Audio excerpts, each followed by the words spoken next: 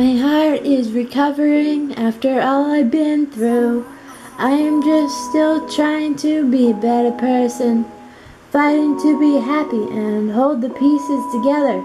Sometimes you just need to be told it will be alright when it's not. Life holds the most beautiful things as well as horrible, but so, nobody says life will be perfect or easy.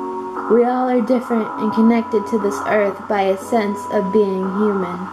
Some of us are broken, others are abused. Some of us have money, but then there's poverty. Praying for these people